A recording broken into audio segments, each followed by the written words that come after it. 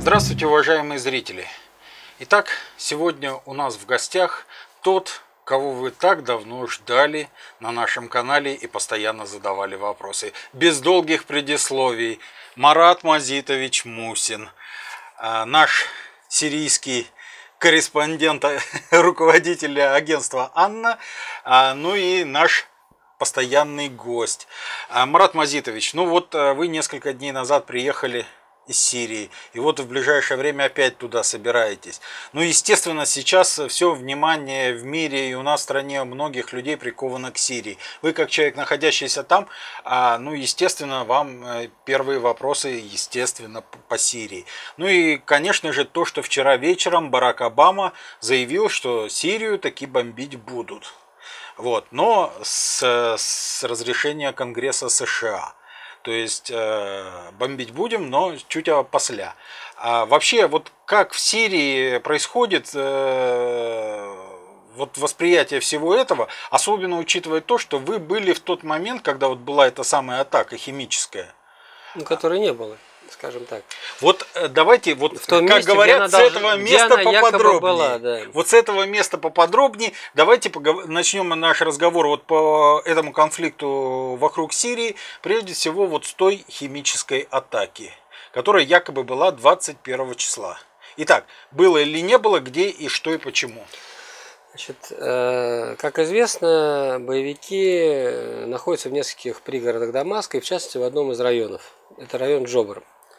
Э, которые занимают в основном иностранные боевики. Ну, включая наших соотечественников, по крайней мере, по бывшему СНГ. То есть сейчас вот э, только наших э, сограждан около 4 тысяч воюет. Несколько баз подготовки. На стороне боевиков. На стороне боевиков, да. Так вот, э, характеристика такова, что в течение года не могли убрать два сожженных танка. Настолько, так сказать, э, плотно профессиональный огонь организован был там, это учительская башня знаменитая. А, и вот эта операция готовилась э, две недели. Почему? Потому что э, боевики наращивали группировку в 17 тысяч, чтобы прорваться к российскому посольству и вот как бы политические козыри получить.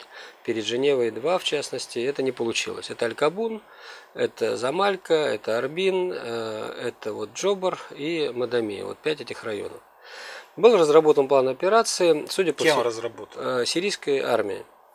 Вот. И мы единственная группа, которая действительно была в эпицентре событий, потому что из соображений секретности, видимо, никого не пускали. Ну, мы как бы никогда не поставляли солдат. Во-вторых, у нас другая технология, в отличие от новостных э, каналов. У нас принципиально другая, другой формат э, вот фронтовой журналистики, который мы сами придумали. Да, когда мы на передовой разделяем опасности с бойцами, снимаем там десятком камер на бронетехнике, которая прорывается. Так сказать, в отличие от телевизионщика, во-первых, мы там были, во-вторых, мы с начала операции до конца. То есть иногда это с 5 утра до 11 вечера. Вот. И никто не ожидал, мы э, понимали, что раз э, это лучшие, как бы, да, э, э, эти районы обороняет фронт Аль-Нусра. То есть это чистой воды Аль-Каида. Причем сирийцев там, как правило, нет. Еще раз говорю, вот Джобар, это вот ключ к Дамаску, да. Женева 2, как вы видите, переговоры по ней идут. И вот что произошло? Мы думали, что будут десятки убитых. Вот. Но операция, значит, э, мы приехали в 5 утра, и, собственно, весь сырбор из-за того, что действительно просто это блестящая, э, вот сам ход операции, это вот действительно блестящая операция контртеррористическая. Значит, в 6.40 начали колонны выдвигаться, причем не предупреждали. Мы входили, вот по, впереди шли две машины, мы снимали, как за нами шла колонна. Танковые, три было бронетанковых клина. Вот. Идея очень была простая, да, рассечь группировку, вот, окружить по частям и перемолоть их. Вот. Значит, в 6.40 танки начали выдвигаться, в 7.20, мы просто уже по кадрам фиксируем, а, началась мощнейшая артподготовка. Вот. Когда мы сможем увидеть эти кадры? Ну, часть уже висит, просто сейчас ситуация такова, что просто не успеваем обрабатывать, потому что нужно снимать. Вот. Но мы документировали, я считаю, у нас вот десяток камер работало, десятки часов съемки, вот первый день операции 21 -го. И Запад прокололся в том, что в 7.20 началась артподготовка, но я еще раз говорю, любой эксперт по разрыву дымов, а мы практически всю панораму боя снимаем, да? Ну это вот Сталинград, да, то есть, э, во-первых, там мирного населения нет, никаких женщин и детей в этом районе нет. Иностранцы трупы свои не показывают. А здесь произошло следующее. Видимо, потери были настолько большими, что впервые за полгода боевики перестали, мы же сводку потерь берем заниженную у боевиков всегда. Они вывешивают фамилии, убирают иностранцев. Здесь впервые они замолчали. Но действительно весь этот район был в дыму, то есть там сносили здания и так дальше. Работала авиация, работала артиллерия, танки, БМП. Ответный огонь был тоже очень интенсивный, но мы-то снимали все. Ни одного из э, танкистов или пехотинцев не было противогазов. Танки, прорва... то есть, грубо говоря, в 8 часов войска пошли на штурм, в 8.30 на двухкилометровом участке фронта были взяты стратегические здания. Через день э, пришел приказ, мы слышали радиопереговоры за Мальки бандитов и вот Джобара. Джобар является центром, это ключ Дамаску. Никто не ожидал, что его могут взять. Вот. Э, пришел приказ расстрелять трех полевых командиров Аль-Каиды в Джобаре. За то, что они сдали вот, в течение получаса значит, э, двухкилометровую такую линию фронта. Э, фактически там э, осталось замкнуть кольцо окружения – 200 метров. Там идет охота, там э, большая автотрасса, и, видимо, нет подземных ходов, достаточное количество, и боевики побежали, иностранцы. Их, так сказать, даже с горы, так сказать, артиллерия, там очень высококлассные, так сказать, артиллеристы сидят на очень хорошие. Танки бьют, БМП бьют, артиллерия, и вот, значит, тяжелая артиллерия. Вот. Сопротивляются отчаянно, э, то есть э, сейчас даже воду с боеприпасами на танках доставляют. То есть у нас были командиры, которые не могли с КП выйти. Вот. Но операция просто действительно уникальная, потому что, несмотря на профессионализм, вот пример какой. Э, Но тогда все-таки возвращаясь к химической атаке. Смотрите, я по хронологию показываю. А, в 8.30 были взяты э, здания на двухкилометровом участке фронта, да, кольцо окружения. Когда пошел вброс информационный? Он пошел в 10.00. Какие источники были? Значит, э, израильские, американские. И они потом стали подтирать два часа. Потому что они сказали Джобер, э, вот это их был прокол. И стали показывать э, непонятные трупы. Сейчас уже говорят, что с кетчупом там камера раньше наезжает. То есть на теле ран нет, а майка в крови, э, так сказать, когда закр- закрываются. Да? Но мы-то знаем, что в Джобере нет мирного населения. Это и боевики снимали, и мы до этого. Потому что бои там идут э, с начала года. Бои тяжелые, но армия продвинуться не могла. И вдруг такой вот прорыв пошел. Бои идут контактные, мы снимаем, как бойцы бьют с одного этажа там по-другому, да? То есть линия соприкосновения. Противогазов нет. Отсюда вывод какой? Значит, трупов женщин и детей, о которых объявили в Джобаре, не было. Джобар стали стирать где-то в 2-3 часа дня. Потому что это был их прокол. Вот, значит, ну, то, что они расстреляли командиров, это их, так сказать, разборки, да, чтобы другим не повадно было. Но мы, мы знаем совершенно точно, что никогда трупы иностранцев не показывают. Их эвакуируют любой силой, либо сжигают. То есть лица иностранных боевиков для, для опознания, так сказать, они уничтожаются. Вот, значит, соответственно, там не, мог, не могло быть женщин и детей, там не могло быть даже мужчин, потому что это иностранцы. Кто там мог быть? Во-вторых, если бы действительно 600 там погибших было, соответственно, и со стороны, контакт, везде контактные бои. Понятно, да? Без противогаза, значит, такое же количество должно было быть э, пораженных э, этим Зарином, так сказать, солдат и офицеров. Откуда вот взялся этот Зарин? Зарин мы неоднократно снимали до этого, так сказать, мы не знали, что это Зарин. То есть э, я считаю, что это вот преступление, что раз в сто лет Запад, англосаксы порождают чудовище, с которым начинают потом бороться, да? Сами, потому что он начинает их жалить. Вот то, что они научили, э, ведь идея же очень простая, да, запустить самовоспроизводящийся механизм, как в Ираке, да, э, военного конфликта, чтобы люди друг друга перемалывали. Для этого их научили на мельницах производить, так сказать, э, взрывчатые вещества, производят сами э, взрыватели, то есть все, все свое. И вдруг мы увидели, что к этим самодельным взрывным устройствам прикручиваются теперь еще и химическое оружие. То есть берутся обычные пластиковые трубки, туда заполняется вещество, но сейчас вот э, про Зарин говорят, да, мы отправляли на химлабораторию, и мы постоянно это находили. Но 21 числа этого оружия в главном районе, который, так сказать, был назван, не, не было. Нам удалось попасть в одно из помещений этого подземного склада лаборатории боевиков и осмотреть его.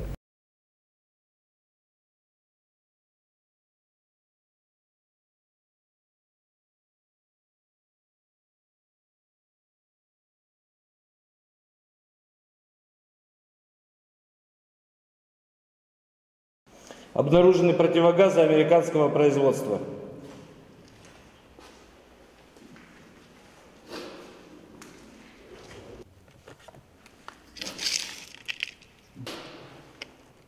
Непонятно что. Вполне возможно антидот какой-то. Атропин. Обнаружен атропин катарского производства. Видимо, для того, чтобы боевикам самим обезопасить себя. Мины, в том числе и подготовленные для заправки химическими веществами баллоны. Видимо, предполагалось все это взрывать при отступлении. Детонаторы для мин, для того, чтобы была возможность удаленного подрыва. Баллоны, содержимое которых непонятно, но возле вентиля странные наплывы.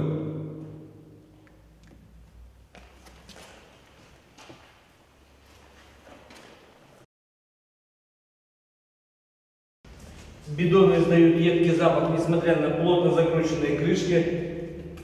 Все бидоны полные. Вот этот полный, этот почти полный. Открывать бидоны, естественно, не будем. Предоставим это специалистам по химзащите. На одном из бидонов надпись «Сделано в Саудовской Аравии».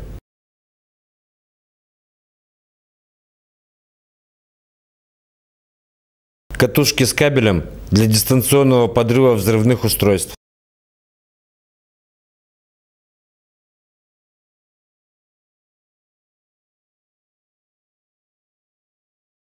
После осмотра мы взяли короткое интервью у военного врача.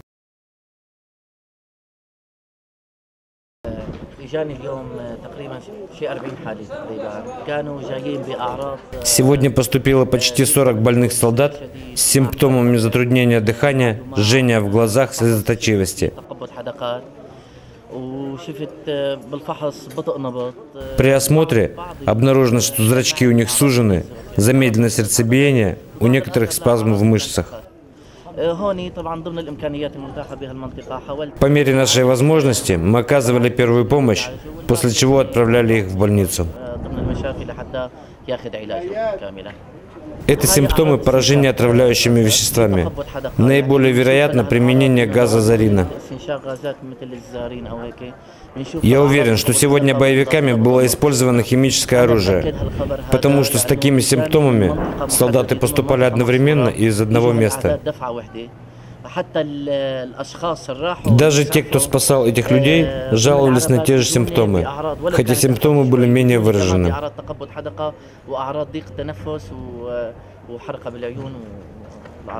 Мы не специалисты и не в состоянии оценить степень опасности этой находки. Но мы знаем, что даже маленькое количество отравляющих веществ в руках террористов может стать причиной гибели большого числа людей. Потому что было всего двое убитых. Вот, был подбит один танк, погиб механик-водитель. Мы камеру потеряли на этом танке. Вот, и э, еще убит один пехотинец. 17 раненых было. Вот. Во второй день, э, значит, э, интенсивные обстрелы, да, то есть вот я говорю, вот около нас э, э, в двух метрах э, мина упала, осколки были, но вот майор говорит, что она не взорвалась, да, ну пять человек посекло, причем двоих пришлось там одного в госпиталь, другому там пять швов накладывать и так дальше, да, и это как бы уже, ну, на это уже не обращают они внимания, все покорябанные, поцарапанные, да, то есть попадают. Вот, э, значит, если бы э, было химическое оружие, естественно, так сказать, э, боевики бы так ожесточенно не отвечали. Вот когда мина упала, мы, значит, старшего лейтенанта пять швов наложили, и тут команда пошла, так сказать, зайти на танки туда. Вот он вошел, мы снимали танк, в течение пары минут три профессионала иностранцы били по его танку. Значит, я не мог понять, снайпер расстреливал динамическую защиту, видимо, думал, что она сработает, взорвется, э, ну, последовательно бил. Тут же РПГшник ударил в эту точку, думая, что уже защита сработала, ее нет. Вот. И рядом еще пошла ракета, но слава богу, она попала в стенку здания, там узкая улица была. Это вот просто типичный пример, когда раненый, так сказать, офицер выходит, значит, возвращается. Вот. Э, танков было много, БМП было много. Вот. Значит, поэтому нет этих пострадавших. Они, естественно, это легко поднимается в госпиталях везде.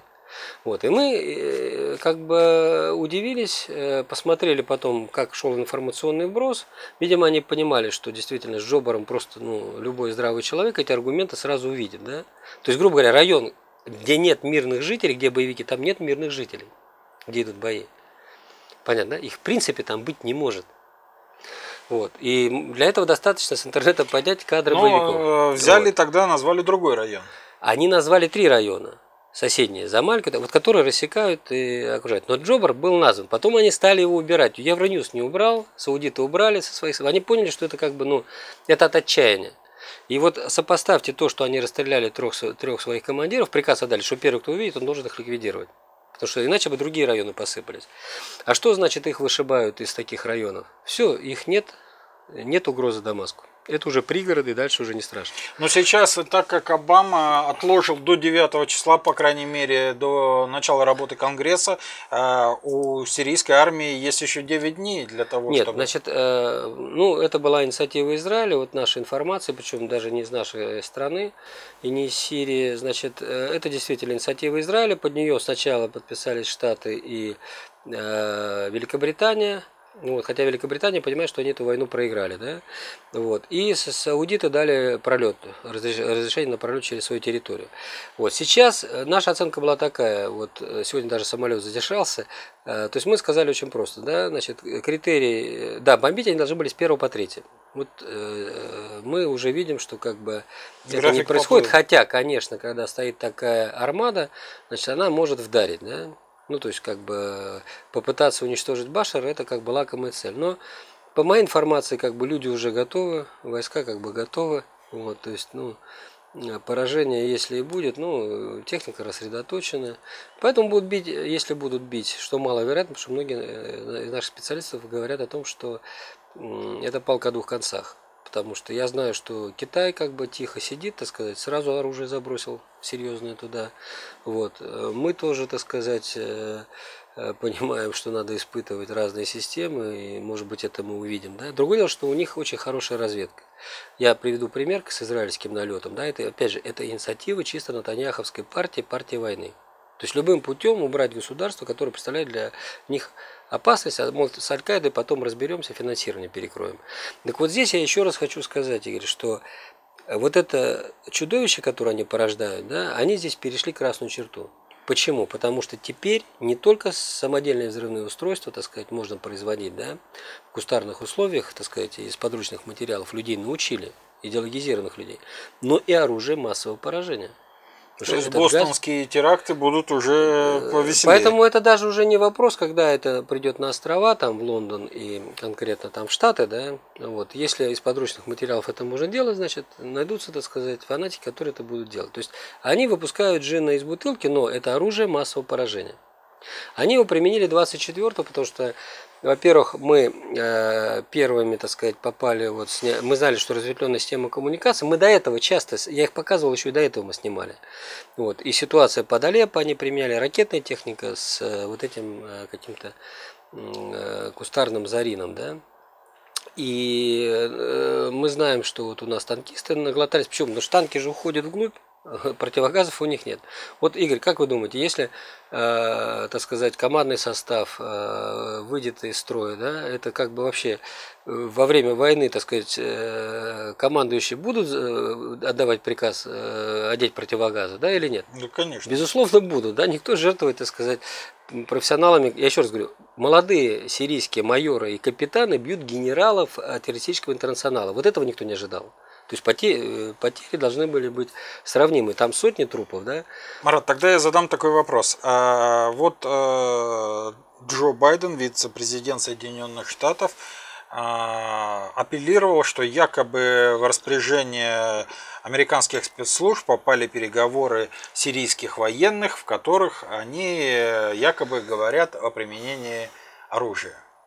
Ну, дураков на свете, наверное, много, да, и считать, что как бы э, сирийские как бы офицеры дурнее, так сказать, пентагоновских, так сказать, вот этих э, тыловых крыс, да, ну, смешно, да, потому что люди на войне, еще раз я говорю, никто, даже мы не знали, какие районы будут атаковать, то есть вот э, нас вызвали, да, и мы понимали, что готовится что-то, да, что люди уходят каждый день в разведку, так, да, так дальше, но мы не знали ни плана операции, ничего. Просто вот нас посадили на машины, и вот колонна пошла туда. Все. Было понятно, что Джобер, знакомое здание, вот, так сказать, там снайпера сидят, так сказать. Вот. Ну, я говорю, мы действительно интересно как было родные. снимать. Как родные, потому что ты пытаешься снять его. Меня вот критиковали, что у меня картинка в треть, значит, кадра. Вот, а они пытаются снять нас. Ну, например, вот э, четвертый день или третий, да, единственный человек погиб, да, но он наливал чай нашему оператору, мы были окна справа, да, значит, а они слева с Надыршиным сидели, и когда мой оператор, ну хорошо, это офицер, да, то есть там в 30 лет там звание подполковника получил, там, кстати, три танка азербайджанских расстрелял, теперь мы с этими азербайджанцами недобитыми встречаемся в Джобаре, потому что э, лагеря по подготовке возглавляет личный телохранитель Альхама Алиева, да, по подготовке с СНГ всех.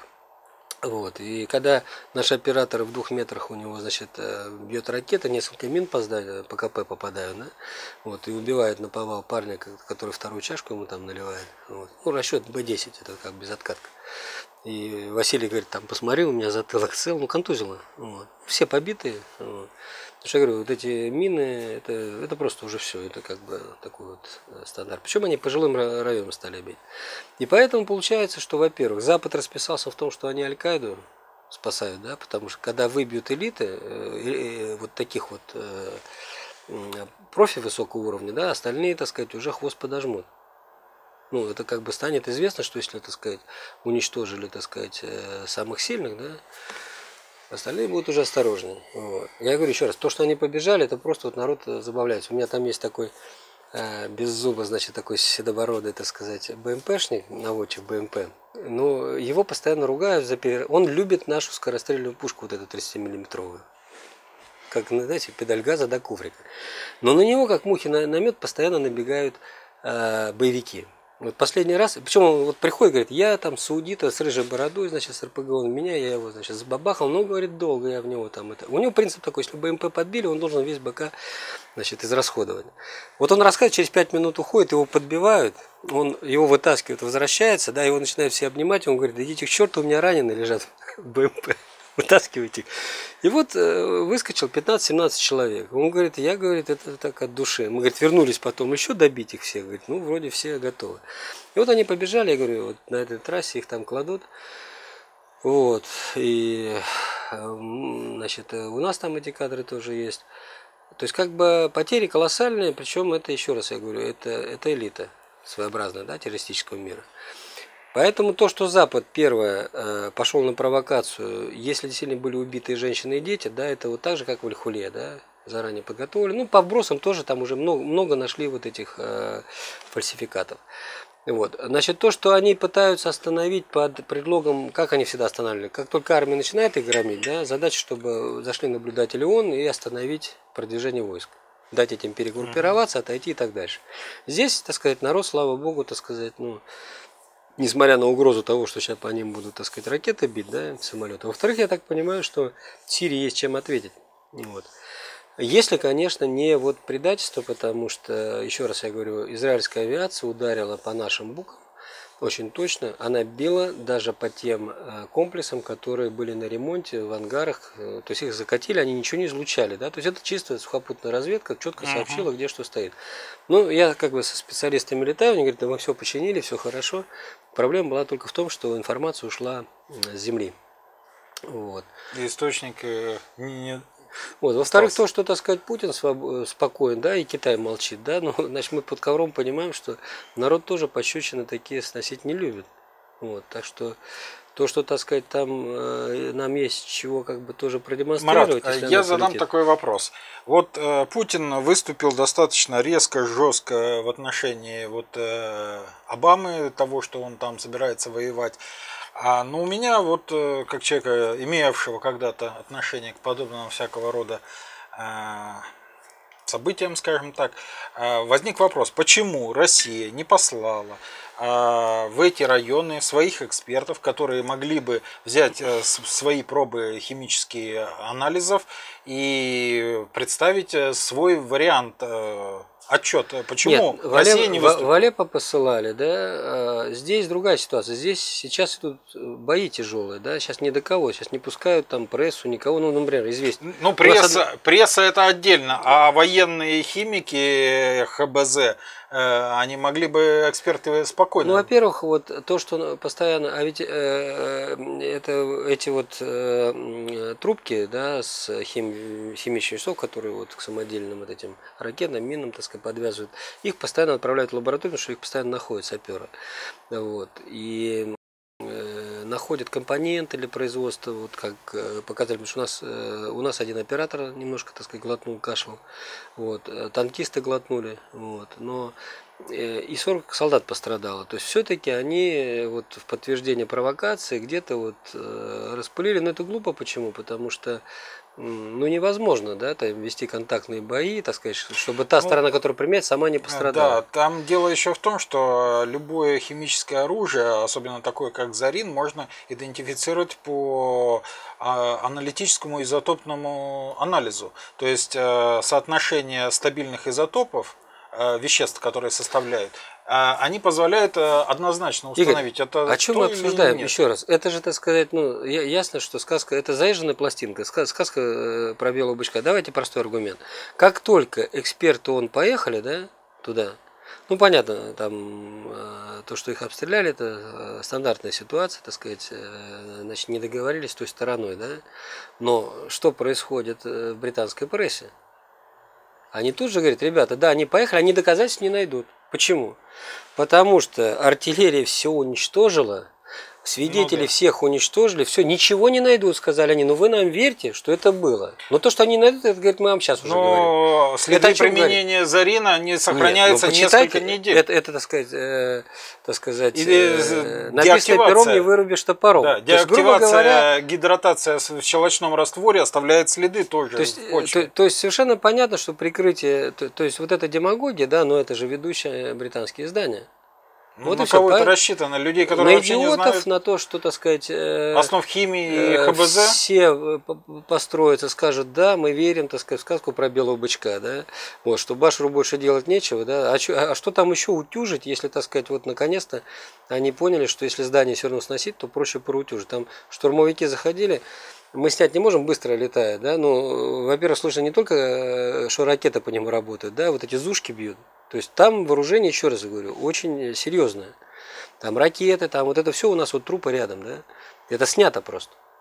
Поэтому э, то, что это профессионально, хорошо подготовлено, то есть похоже, что кто-то из инструкторов туда попал, вот, вот именно в Джобаре.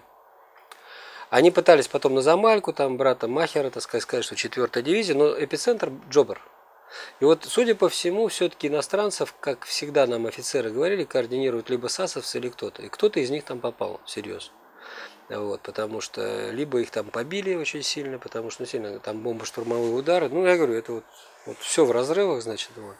Они, может быть, этого не ожидали, думали, там будет, знаете, точечно как бы. А здесь как по учебнику пошло. Вот, э, значит, соответственно, ну и потом э, то, что за 30 минут можно будет прорвать такую линию обороны, да, где они сидели, так сказать, замочить их, этого тоже никто не ожидал. Потому что господствующие высоты у них пока. Ну, я говорю, все очень довольны, как развивается операция. Во-вторых, я вот очень рад, что а, вот этот шантаж не подействовал, войска не остановились. То есть операцию один, один день, когда они приезжали, так сказать, понимаете, вот. Но, собственно говоря, еще раз говорю, женщин, детей там нет, да, сирийцев там тоже практически нет, да, иностранцев никакого там дохлого иностранца никогда не, не, не полив его, так сказать, мазутом, не, э, так сказать, не спалив ему лицо, значит, нам не покажут. Ну, есть- Марат, э, хорошо, э, с этим понятно. Теперь, вопрос, как вообще развивается ситуация, и вот за предстоящий до э, вот, ожидаемого удара США, э, что будет предпринимать сирийская сторона? То есть также добивать то, что есть? Ну, во-первых, Израиль, я не знаю, зачем он на свою голову эти приключения ищет, потому что Сирия давно уже могла ответить, да, и это мне как бы говорили очень высокопоставленные военные, что для нас не проблема, да. Во-вторых, ну давайте подумаем, да, если даже Китай, так сказать, уже, так сказать, тихо как бы сказал, да, помните, как это анекдот про супчик, да, ну, они мгновенно среагировали. Все говорят, вот что там Китай молчит. Да не молчит он, он сидит молча, да, забрасывает туда нужное вооружение. Да, вот. Ну, может, мне это приснилось, конечно, опять же, да, случайно. Вот. Но я думаю, мы все это услышим, увидим. Иран что, молчать будет? Нет. Эрдоган, понятно, раз он, так сказать, э, его на бабках подцепили, да, он, так сказать, раб лампа, да, ему сказали сплясать так, да, но, значит, э, ему один раз уже сказали, что будет с Турцией, да, как только они, так сказать, э, уже не под видом этих э, боевиков будут э, турецкие спецназы офицеров отправлять, да, которых там пачками кладут и в плен берут. Значит, здесь будет ответ уже серьезный. Вот. Ракетное вооружение тоже есть. Армузский пролив они перекроют. Вот. Э, вот, поэтому... Ну вот э, я вспоминаю разговор в, в нашей студии год назад когда, помните, мы говорили, что Сирия – это преддверие Третьей мировой войны. Ну, здесь уже, конечно, за пределы Сирии э, эта война выйдет, вот, и остановить ее будет сложно, потому что уже все начнут друг друга, так сказать, прикладывать уже по-взрослому. Вот. Может быть, это не в первый день произойдет, да, вот. Во-вторых, э, ясно, что для них единственное решение проблемы – это физическая ликвидация Башара Асада. Но вот предположим, что, значит, эти ракеты там достигнут цели, да? Я думаю, это главная цель. Даже не танки. Вот. Понятно, что Запад говорит, ребята, вот мы создали сброд, ведь что они сделали, обратите внимание. Я просто потом вот ужаснулся, э, вот действительно, что у этих людей ничего святого нет. То, ну, мы называем их англосаксами, да, но это скорее ФРС, вот эти люди. Вот смотрите, европейские армии разоружены, тяжелое вооружение убрано, танки и так дальше. Там ничего нет. Украина разоружена, Россия разоружена, это слава богу, что они зубы обломали на э, сирийской армии, где президент просто, э, так сказать, э, ее лелеял. Когда есть денщик, ординарец у офицера, у него машина бесплатная идет. Ну какой смысл? Кто тогда воевать с Китаем будет? Нет, нет, нет. США? И вот, и вот, и вот, и вот за счет того, что у них есть тяжелое вооружение, они могут э, при всех этих ракетах, безоткатках, которые, так сказать, э, управление боем и так дальше, они могут их гасить и авиация есть. Поэтому для них, вот я почему скрежет этот зубовный, э, мы сейчас слышим, да, потому что им надо каким-то образом тяжелое вооружение нейтрализовать, как в Ливии, да. То есть крылатые ракеты, э, там, высокоточное оружие, бомбы, да, безопасного расстояния. Тогда получается, что э, если бы эту армию, вот захотят эти вот э, кукловоды, да, сказать, так, Франция, ты себя ведешь неправильно. И вся вот эта орда пошла туда. Сможет французская полиция, там, сказать, их иностранный легион, это, считайте, один парашютно-десантный пол, да, ну, у меня друзья служили там, вот. То есть их сомнут сразу, потому что, а где танки, где все остальное? Понятно, да? То есть они подготовили решение, когда они могут шантажировать вот этой э, людоедской э, силой, да, кого угодно. Пока э, люди, так сказать, приобретут опыт, да, ведь суть в чем, э, тактика изменилась по сравнению с Чеченской войной. Если они вошли в город, это тысячные отряды, надо уничтожать этот микрорайон города. Просто уничтожать. А представьте себе в России, да, это не сирийские домики там, вот где стоят вот эти старые дома, и вот его гасят, гасят, гасят, гасят, да. А народ-то, если стена хорошая, постоянно там вылезает и еще по танку лупит. Вот так вот синхронно. То есть три человека бьют по одной цели, да, одновременно. Один с ракетами отлично управляется, второй с РПГ, третий снайпер хороший профессионал, да. Вот, поэтому э, вот такую штучку нам придумали и правильно придумали. То есть, еще раз я говорю, если бы не было тяжелых вооружений в Сирии, да, ну тогда бы они уравняли шансы людоедов э, с армией. Вот. То, что они, им удалось сделать в Европе с нами. Вот, поэтому отсюда выводы тоже надо делать. Еще раз я говорю, наши выводы, выводы наших специалистов, что мы к этой войне не готовы. из 4 тысяч э, боевиков э, наших сограждан, которые там воюют, значит, э, возвращаются отсюда раненые герои. Вот. Молодежь брошена, все это идет, мы в автономной рецессии, вот. у нас преддефолтное состояние. Вот. А, ну вот, собственно говоря, это все, все, что предсказывал Губанов и вот наши коллеги, да, это все осуществилось. Да, у нас сейчас э, внешний долг на 200 миллиардов больше, чем золотовалютный резерв. То есть нам в любой момент могут вот такую штуку сделать. Да? Марат, что будет? А, вот наши зрители задают такой вопрос, адресованный к вам. А, вы уже частично касались его. А, то, что в Сирии воюют граждане э, СНГ. А, в том числе есть такая информация, что там воюют и крымские татары. А, то есть, э, ну, значит, что по этому поводу? Примеры я скажу, да, не буду говорить, э, где это происходит. Мы думаем, что скоро все-таки там не будет э, скопления наших соотечественников на территории Сирии, да, где они отдыхают. А, ну, например, вот берут в плен в Дагестане ребят, которые вернулись из Сирии. Как переходили границу? Ну, встречает турок, везет ну, вот, э, на границу, собирает группы.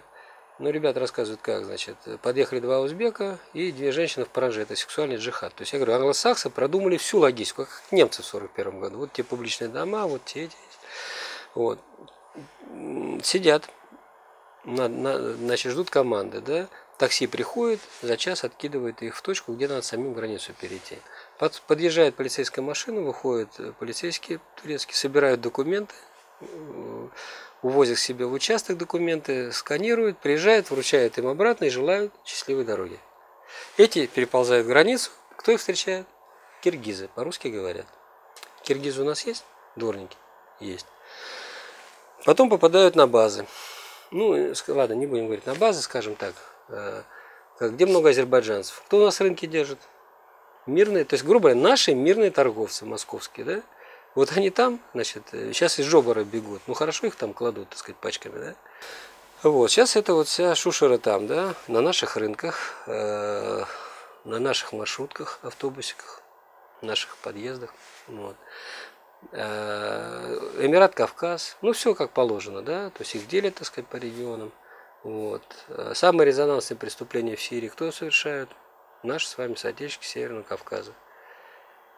То есть, если отрезать голову священнику, почему? Потому что это резко поднимает в бандитской иерархии этих людей. То есть, нам готовят лидеров, которые сюда вернутся, да, перед которым там сирийцы, э, те, кто воевали в Сирии, все эти э, ваххабиты, ничто, вот это вот небожители. Да? Ну, правда, вот этого э, Аль-Бутана его взяли турки все-таки взяли его, как бы э, вернули на территорию Сирии. Вот. Ну, дальше, я думаю, там его ждет плохая судьба, потому что как только чеченцы решили, что денежные потоки пойдут на дагестанца, значит, который джихад объявил, а по законам шариата, по закону шариата под Алеппо, да, вот, то они стали сами за ним гоняться, сказать, что это бабки наши, значит, нечего тут дагестанцев влезать. Ну, до смешного доходит, да, но все же герои, понятно, да? И эти герои у нас на улицах э, ходят. Вот. А еще раз я говорю, ситуация плачевная в экономическом плане, у нас автономная рецессия. Вот. То есть у нас, вот, вот я только что с Губановым говорил, надо смотреть вот свежие, но, но, сейчас у них электронная подписка на экономист есть, но экономическая подоплеку вся разобрана. Да? 13 год это для нас катастрофа, это вот крах компрадорской модели. Там президент отдает приказы, да, все бегают, ничего сделать нельзя, даже признать эти факты не боятся. А отсюда все покатится, потому что ситуация очень опасная. Если нас одновременно начнут давить по долгам, вот, у американцев, наверное, еще год не будет ничего. Вот. Но это как бы сейчас Губанов на контроле держит модели все эти, э, так сказать, э, пересчитываются постоянно, но у них рост 2,5%, да, как, собственно, и предсказывались э, эти модели. Может быть, у них такого же класса модели есть, но в закрытом пользовании. Тогда и война, логика ее идет. Вот. То, что Обама не хочет воевать, это понятно, да? Но еще раз, это идея Натаньяховской партии израильской. Это вот совершенно четко израильские ослиные уши торчат, да? Причем там большинство евреев понимает, чем для Израиля, для них лично все это закончится, да? Ничего хорошего, так сказать, не ждет. Но видим вот какие-то тупые соображения, что мы этим процессом управляем. Я считаю, нет. Вот то, что оружие массового поражения э, перевели в режим, так сказать, э, кустарного автономного производства, да, то есть самая воспроизводящаяся модель войны, джихада такого, да, ну это все, это труба. Потому что он, это просто разница во времени, когда она придет в ту или иную страну. Все, остановить это нельзя, потому что она будет механизм самовоспроизводящийся. Все. А это значит, что как только к нам это прикатится, здесь только один вопрос.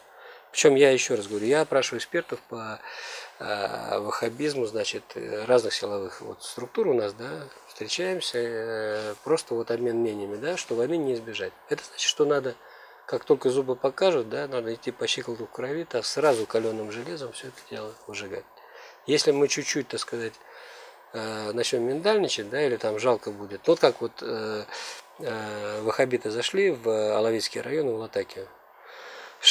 Пять деревень или шесть отбили, осталась седьмая Сальма. Вот. Попытались артиллерию выкатывать, что не дом, а там, значит, этот генерал такой-то республиканской гвардии, этот генерал такой-то спецслужбы, да.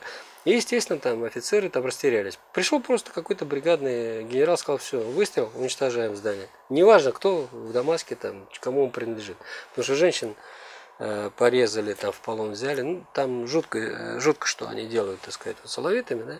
И вот так, тогда это крупная деревня, очень большая. Ну, вот. Но горы же тоже не защитишь. Вот. Ну да, представляю себе, как защищать Рублевку, если ее захватили террористы. Нет, ну Рублевку здесь другой момент. Здесь как бы э, это же и генералы, которые с ними воюют. А здесь на Рублевке я что-то не вижу генералов, которые за родину будут воевать. С той стороны вполне возможно. Ну, есть у меня там знакомые некоторые, вот, которые тоже так э, теляшку на груди могут рвануть. Но в массе-то своей все-таки.